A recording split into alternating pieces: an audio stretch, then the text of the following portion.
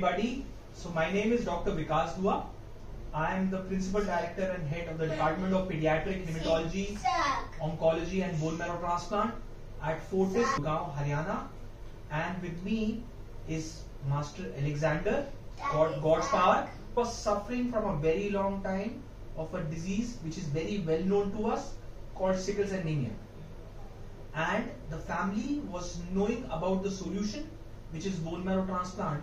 But unfortunately, as this was the child who didn't have a full match donor in the family, they were in a doubt whether to go for a half match transplant or not. And then they came in contact with us.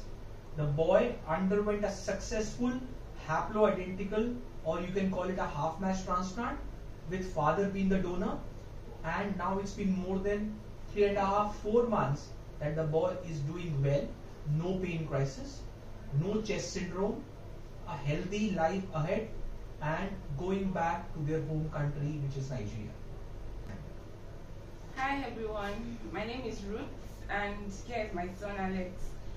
Um, okay, firstly, I want to say thank you to Dr. Vikas and his team, and I also want to say thank you to MedSurge India for their kind help they're all about empathy and sympathy, which is something you don't get you don't get elsewhere. Okay, our journey so far for Alexander. We Alexander was diagnosed with sickle cell at the age of six months, and you know we were not too educated about how to handle sickle cell with with him. So which led to him having stroke twice. Um, then we came across uh, surge. Um, on talking with Dr. Vikas, he made us understand that even without a full match, you can always beat this thing called sickle cell anemia. And trust me, it wasn't wrong.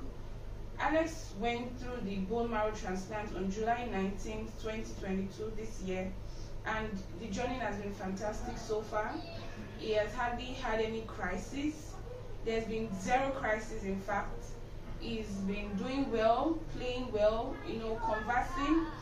And the thing that shocked me mostly was when we came to India, when we came to Fortis, Alex could not talk because stroke affected his speech, affected his movement, and affected his hand. But right now, Alex can talk, he can converse, he can express himself to at least the barest minimum, um, for those out there in Nigeria, for those out there in Africa, for those out there in any part of the world, I want to encourage you that it's not the end of the it's not the end of the road for you all. You can beat this. You can beat sickle cell anemia because Alex has beat it and you can beat it. Don't think, um, oh, because we don't have another child to be the donor. You can get tested as a father, you can get tested as a mother, and you find out that you're half match and your child will beat this thing called sickle cell anemia, like Alex did. So please, I indulge you. I also beg you for the sake of your child to be normal like other children, that you please get in touch with MedSurge India. They are the best team. They would help you. They would guide you. They would nurture you.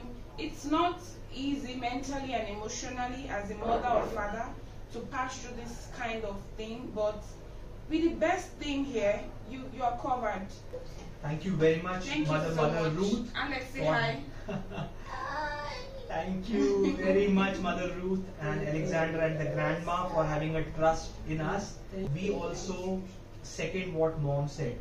We can all beat sickle cell, whether we have a full match donor or a half match donor. Nowadays, that's immaterial. You just need to have a trust in the team. You just need to go for it, and your child can be well. Thank you very much. Thank you. Thank you.